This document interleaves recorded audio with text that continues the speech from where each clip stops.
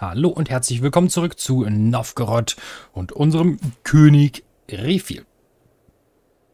Wir werden einen kleinen, aber effektiven Krieg starten gegen Turau und uns dieses kleine pardon, Häuptlingstum einverleiben. So, und dann werden wir erstmal natürlich ihm hier den Krieg erklären. Wir wollen diese kleine Grafschaft erobern. Und dann werden wir unsere Armee sammeln. Ich glaube, wir haben hier keinen Sammelpunkt. Dann werden wir das mal machen. Und hier werden wir alle ausheben. Los geht's. Oh. Die Zeiten und die Menschen ändern sich. Manchmal werden die, die uns scheinbar am nächsten stehen, zu Fremden. König Refil lächelt meine Tante Iliana traurig, dass ihr tatsächlich einen Mord begehen könnt. Ich fühle, dass es zwischen uns keinerlei Freundschaft mehr, mehr gibt. Ach, werte Tante, wer, denkt doch an die schönen Zeiten, die wir zusammen hatten. So. Auf geht's. Wir müssen uns hier tatsächlich beeilen. Das muss ein kurzer und effizienter Krieg werden. Und das sah schon mal ganz gut aus. Da können wir uns mal die Schlacht hier angucken. Wir haben alle 352 getötet. Das war jetzt tatsächlich auch nicht so schlimm oder so schwer. Wir haben aktuell neun Champions. Und eine normale, ordentliche Güte. Alles klar, auf geht's.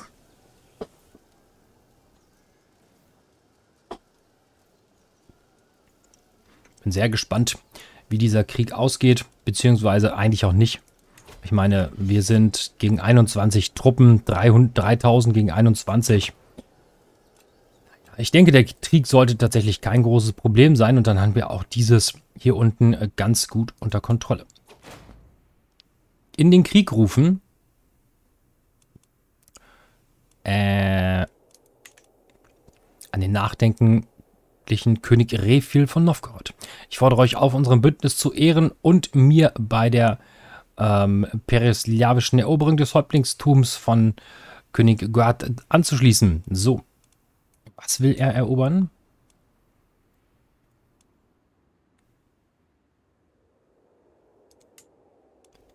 Er will das erobern, aber das gehört ihm doch schon. Okay. Das heißt, er will das hier erobern.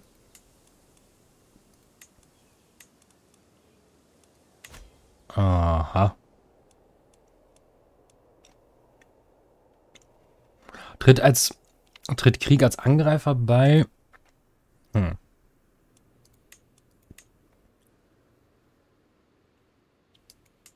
Also ich bin mir jetzt echt, ich, ich bin echt unentschlossen. Ähm, bin ich ganz ehrlich, weil ich nicht weiß, warum wir das machen sollten und vor allen Dingen, was er will.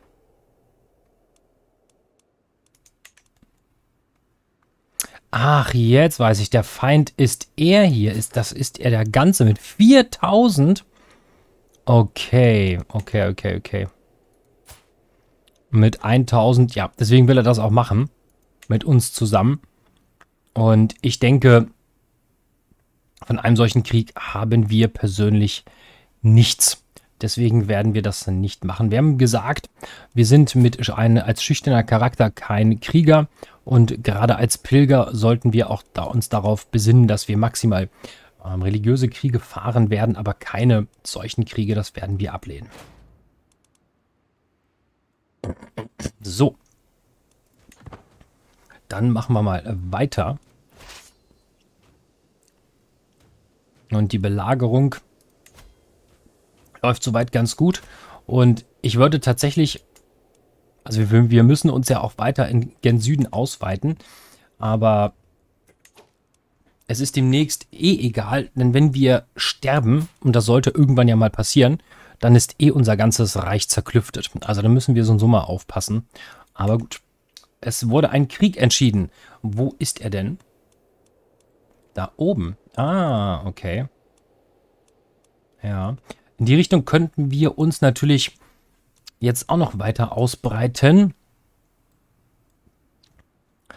Wobei das natürlich nicht zum Königreich Novgorod gehört.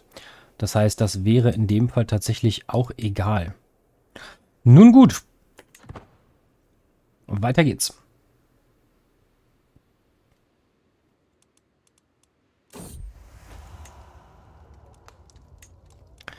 Als ich unter die Decke zu Lil schlüpfe, erspüre ich voller Grauen ein triefendes Bläschen an, ihm, an ihrem Intimorgan. Wie konnte sie eine derart widerliche Krankheit in unser Bett bringen? Schafft euch aus meinem Bett für euren Verrat.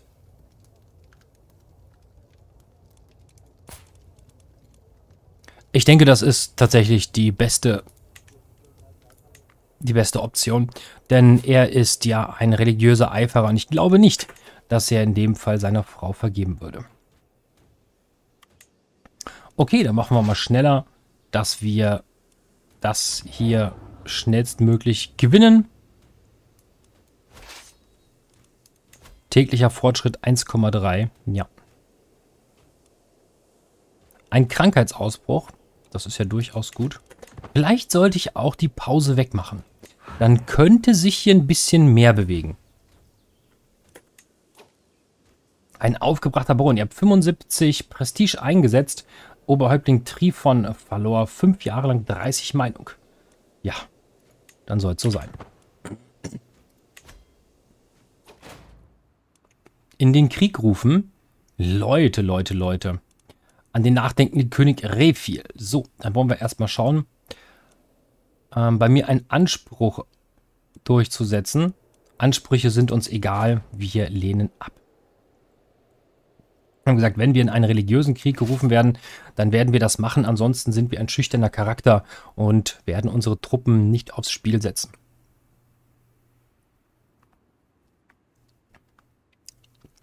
So, es gab hier eine Schlacht. Gegen, achso, ja, alles klar, das hatten wir ja schon. ein göttlicher Fokus. Seit etwa einem Monat habe ich immer wieder denselben Traum, in dem ich mich über, über Theologie unterhalte, und zwar mit Perun, Dashbok und Wodga, äh.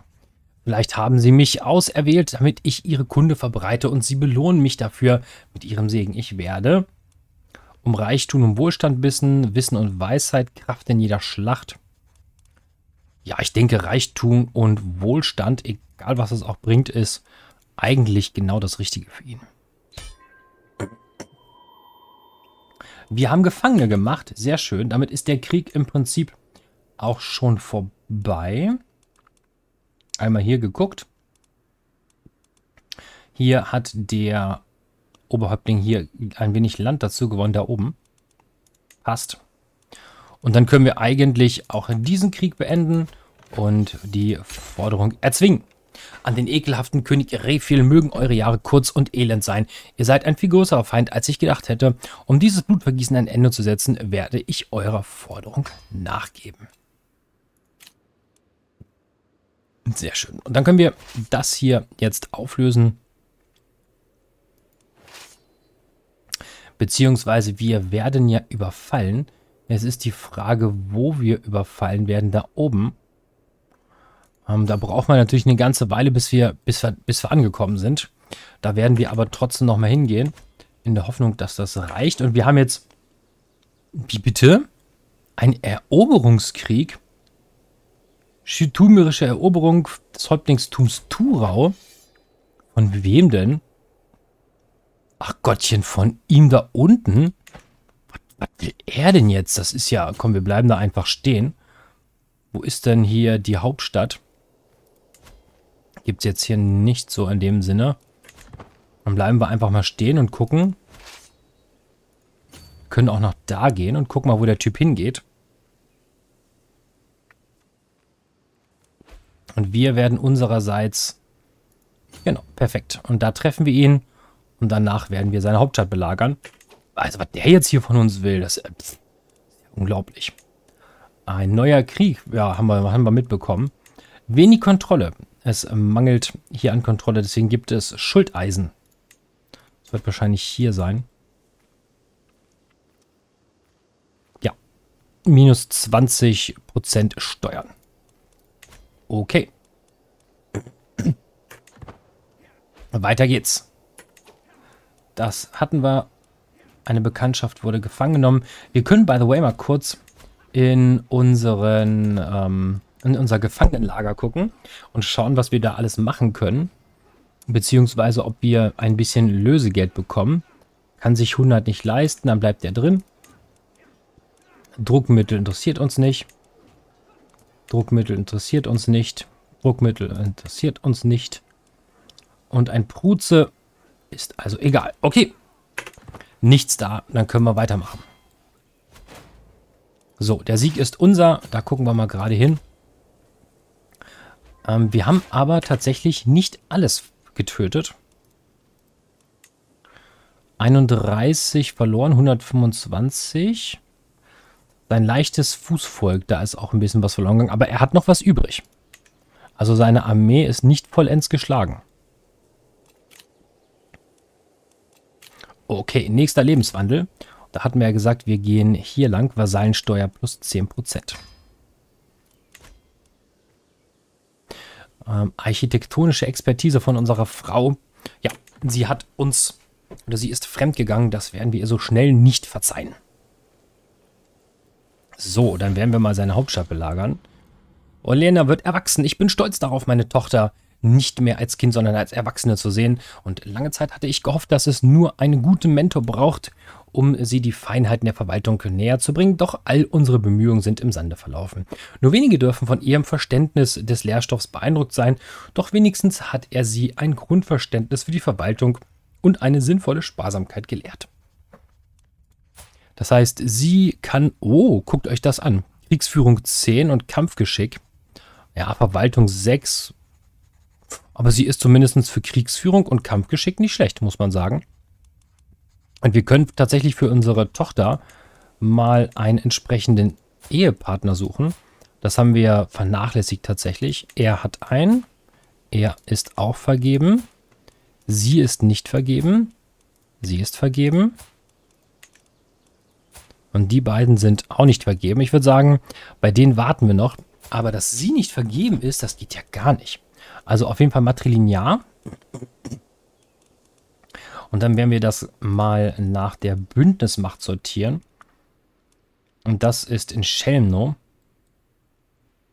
Kann man ein bisschen rauszoomen. Wo ist der denn? Das muss hier unten irgendwo sein, richtig?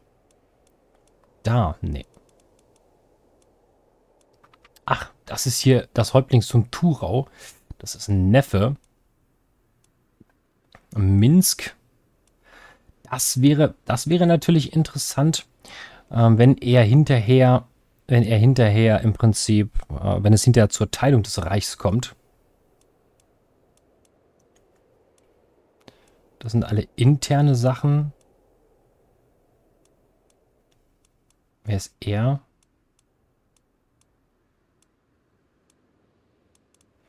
Ja, die sind auch noch ziemlich jung, ne? Neffe und Champion, Helgi Halowitsch. Das könnte man natürlich auch machen, das bringt ihr nur nichts. Hm. Ich würde tatsächlich überlegen, ihn, ihn zu nehmen. Unersättlich zufrieden und zynisch.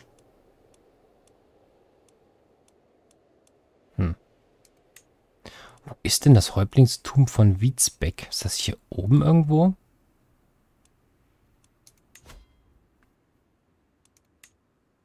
Ach, da, okay. Ich würde sagen, das ist ja in unserem Reich, das können wir ruhig machen. Wir verlieren minus 100 und er erhält 400. Ja, das machen wir trotzdem. Vorschlag abschicken. Okay, weiter geht's. Ja, Passt. Wunderbar. Und dann werden wir hier mal die Hauptstadt. Bündnis aufgelaufen. Eure Bekanntschaft Fedosia ist verstorben. Und das Bündnis mit Häuptling Ingwer ist ausgelaufen. Das ist wer? Ach, in Preslav. Mein Bündnis ist beendet, da sie nicht länger verheiratet sind. Eieieiei.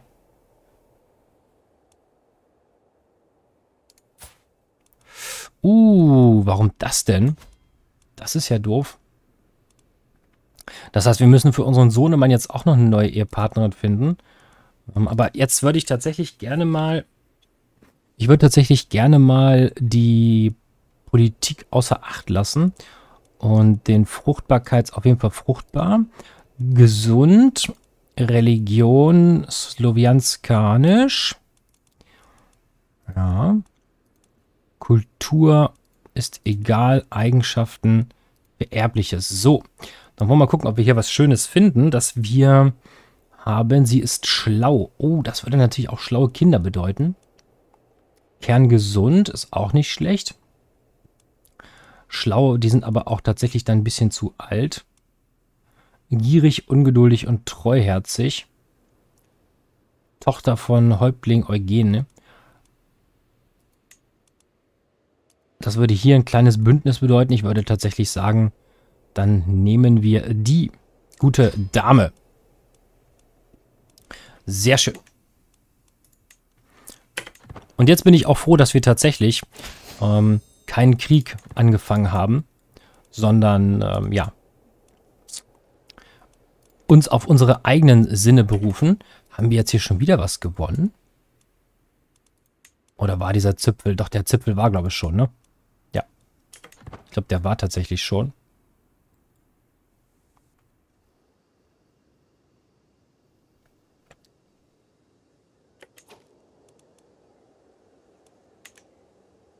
So.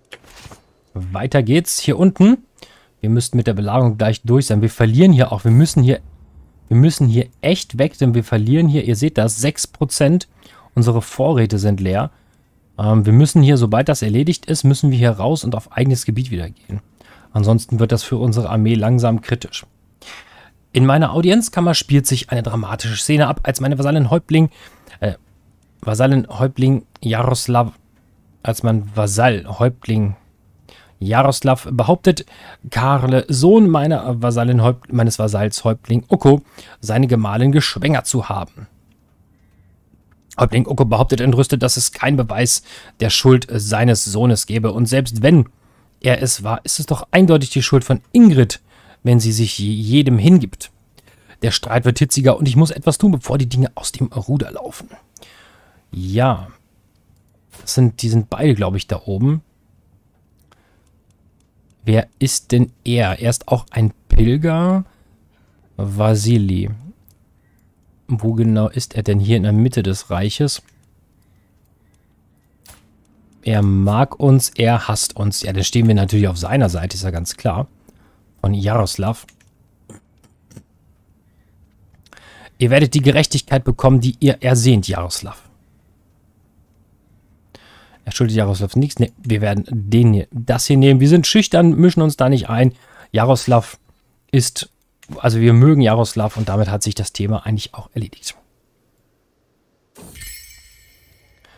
Meine Gemahlin äh,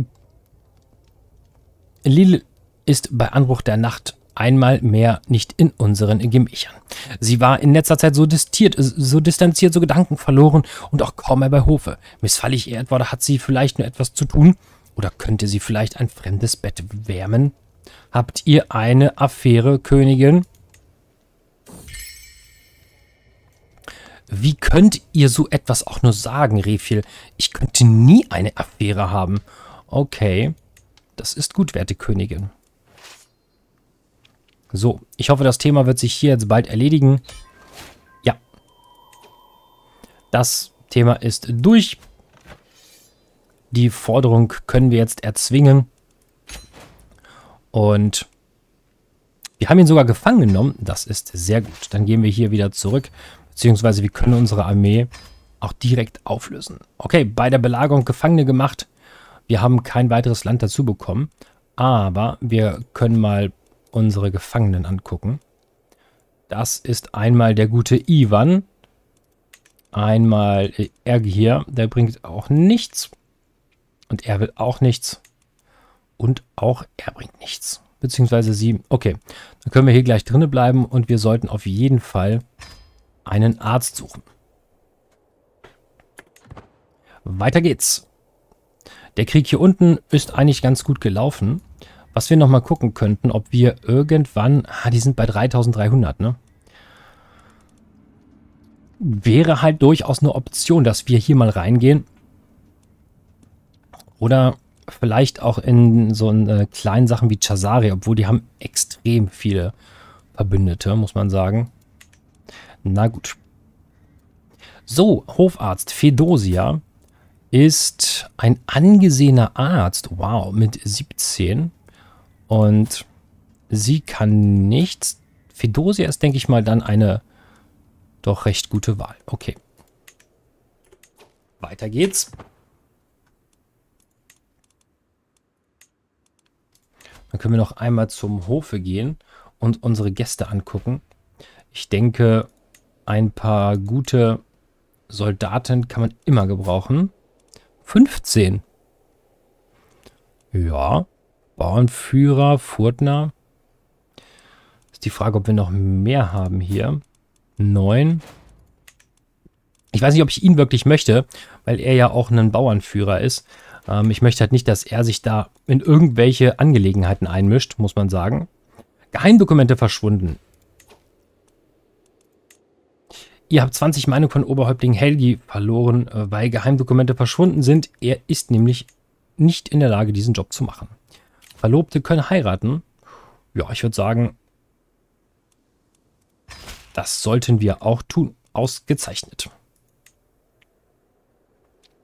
Weiter geht's. Und wir sind immer noch nicht in der Lage, hier wirklich weiterzugehen. Elf Jahre noch. Ah, das ist natürlich doof. Wir müssen, beziehungsweise wir sind, wir sind echt nicht die Besten, was das Ganze hier angeht. Ähm, wir, sollten, wir, wir brauchen das aber, um vor allen Dingen auch irgendwann mal weiterzugehen ins Frühmittelalter. Und dazu fehlen noch fünf Entwicklungen. Wow. Malusha wird erwachsen. So, wir gucken mal, was sie bekommen hat. Charismatischer Verhandler.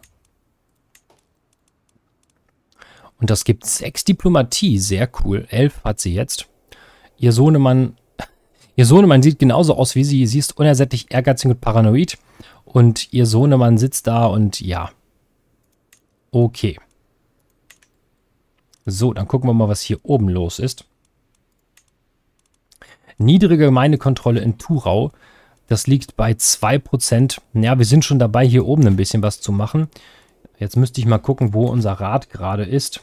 Unser, wo ist er denn? Wo ist er denn? Da unten. Er ist in Tichwin gerade zugange. Das ist da oben. Da ist die Kontrolle bei 40 Prozent. Da würde ich tatsächlich noch weitermachen und danach kümmern wir uns um die Kontrolle unten. Das bringt, hat natürlich auch den Nachteil, dass wir im Moment überhaupt kein Geld bekommen, weil die Kontrolle so niedrig sind, doch keine Aufgebote. Das Reich verliert Wand, Land, wenn der Vasall stirbt. Ähm, wer, was, wo, wann, wie? Echt? Okay. Warum?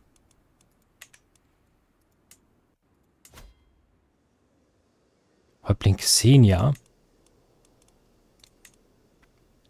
Euer Vasall Häuptling Xenia hält Titel, die von Herrschern geerbt werden, die nicht eure Vasallen sind. Okay.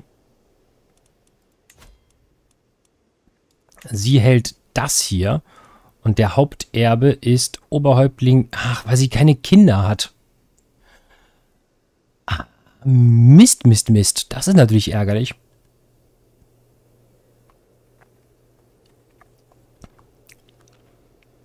Ich denke, ich hoffe, das Thema wird sich erledigen, sobald sie 16 ist und sie mit ihrem Sohn, mit ihrem Herrn Gemahl Kinder haben kann. Ansonsten könnte ich ihr das natürlich auch den, ah, ich kann das nicht mehr aberkennen, weil sie ja kein direkter Vasall ist. Ah, das ist natürlich ärgerlich. Okay, dann hoffen wir mal, dass sie noch Kinder bekommt. Ansonsten geht das natürlich an jemand anderen, denn äh, wir erinnern uns, dieses ganze Land hier, das hat ja Häuptling äh, Boris für uns besorgt und Häuptling Boris hat das ja mit einem kleinen, aber effizienten äh, Krieg gemacht gegen die Litauer und hat hier und hier unten riesige Ländereien bekommen. Das hat für uns sehr schlechte Folgen, unter anderem auch, dass er hier diesen ganzen Kram erben wird, weil er wahrscheinlich gegen ihn gekämpft hat und jetzt werden wir auch noch erpresst. Ich lade euch hiermit zu einem Festmahl am Hofe ein. Ähm, das müssten wir leider annehmen, weil wir jetzt erpresst werden. Und ich habe Weise dafür, dass ihr euch mit Dämonen eingelassen habt. Wenn ihr wollt, dass ich schweige, werdet ihr tun, was ich sage. Häuptling Uko, das wird selbstverständlich abgelehnt. Ihr habt die Eigenschaft Hexe erhalten. Mein, äh, Vasa mein Vasall-Häuptling Uko hat meine Praktik als gottlos und unverzeihbar denunziert. Jetzt schimpfen die Leute mich als Hexe und der Feind aller guten Mächte. Und dafür würde ich sagen, wir können ihn nicht, nicht mal einkerkern. Er wird nicht annehmen und wir werden selbstverständlich alle Titel aberkennen. Was nicht mal funktioniert. Hier oben, er wird nicht annehmen und Häuptling Uko ablehnt, wird er sich mit anderen äh, Vasallen erheben. Wir haben kein Druckmittel. Das ist extrem ärgerlich. Wir erhalten die Eigenschaft Hexe. Da lasst uns doch mal gucken, was das uns bringt. Und das ist sogar ein Verbrechen. Das heißt, wir können eingekerkert werden. Eieieiei. Jetzt wird es echt interessant. Wir haben zwar viele Verbündete, aber von diesem Drecksackhäuptling Uko, den unser Vater oder unser Großvater hier ins Reich geholt hat und der hier oben irgendeinen Mist veranstaltet, werden wir uns nicht in die Suppe spucken lassen. Definitiv nicht. Wir sind leider nicht in der Lage, mit einem Mord zu antworten. Wir könnten ihn heiraten ich glaube aber nicht, dass ihm das gefällt. Und wir, lassen, wir machen mal weiter. Und unsere sündigen Taten haben ihren Preis dafür. Das Druckmittel von Oberhäuptling David gegen euch ist ausgelaufen, logischerweise. Wir sind jetzt als Hexe bekannt. So, ein benachbarter Herrscher verlor den Krieg. Ach, die, die hier oben werden echt immer stärker. Aber wie gesagt, das ist nicht unser Spielziel, weil wir ja, jetzt habe ich es, äh, wo ist es denn? In dem Bereich nicht vorstoßen wollen. Einmal wollen wir uns hier unten drauf konzentrieren, auf die russische Kultur. Und wir wollen natürlich auch dieses, diesen, diesen, dieses Land hier schaffen, das Kaiserreich Russland. Und tja, mal schauen. Ich glaube, noch können wir es nicht schaffen. Das wäre halt durchaus eine Option, es fehlen noch 31 die Jure 500 und wir benötigen zwei Königreichtitel. Das wird also noch ein bisschen dauern. Also, weiter geht's. Als Hexer. Und ein Lagerhaus wurde gebaut. Sehr gut. Dann können wir hier mal gucken. Ähm, vielleicht können wir das ausbauen. Nee. Dann könnten wir aber in eines unserer weiteren Ländereien, die wir halten, Lasst uns mal schauen. Hier unten ähm, können wir in Lukholm, könnten wir das eigentlich auch machen und ein weiteres Gebäude errichten. Ich denke, da wir selbst geizig sind, würden wir anfangen mit Märkten, die uns mehr Steuern bringen. Sehr schön. Weiter geht's. Die Lagerhäuser wurden gebaut, das ist gut. Schwindende Kontrolle ja, das hat... Das war zu erwarten. Aber ich meine, wir haben ja nur Idioten eingestellt, weil wir schüchtern sind, uns nicht getraut haben, mit anderen zu reden. Das ist leider der Lohn dafür. Wenn ihr euch an einem Karpfen, wenn ihr an einem Karpfenteich interessiert seid, kann ich euch einen hervorragenden bauen. Der Baumeister hat von mir eine gute Referenz und meine Höflinge scheinen auch sehr angetan zu sein. Jetzt ist die Frage, was soll ich denn bitte mit einem Karpfenteich? Ach, als Hexe. Natürlich. Jetzt, ach, ich habe ganz vergessen. Natürlich, er wird selbstverständlich aus den Karpfen die Zukunft lesen. Ja, dann braucht natürlich auch einen Karpfenteich. Ganz klar. Ihr bekommt natürlich alles, was wir benötigen. Und auch er lädt uns zu einem Festmahl ein und das werden wir ablehnen, denn er hat nichts für uns übrig. Okay, und damit endet auch diese Folge. Ich danke euch fürs Zugucken. Bis zum nächsten Mal. Macht's gut. Euer Strategie. Ciao, ciao.